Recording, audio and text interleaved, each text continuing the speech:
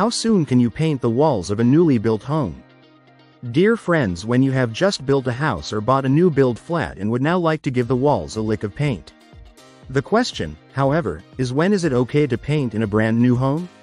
Although the walls and ceilings of your new construction may seem dry, it may still be too early to paint them in a fresh color. But exactly how long should you wait? In this video, we give you some tips. You should not paint your new walls and ceilings right away. It's best to wait a year before painting. Then the walls are no longer damp and are rough and dry enough to tolerate paint. The theory is that a wall must have gone through every season before it can be painted. Even after one year, it is best to measure the humidity of your walls again. For example, if there was a lot of rain during the summer, the walls may still not be ready for painting. In addition, a newly built house still has to set a bit, so small cracks may appear while drying. If you paint too early, you run the risk of having to repaint everything. Don't want to wait a year anyway? Then measure the moisture content with a moisture meter.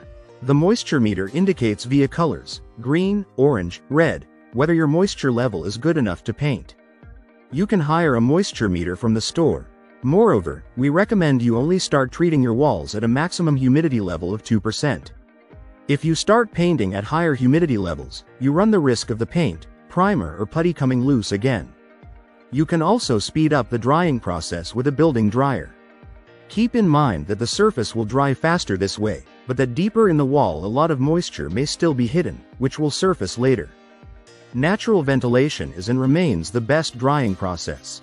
If you like the video give it a thumbs up and share it with your friends. For more useful and interesting information, subscribe to Engineer Ajay Lod's channel, How to Make My House.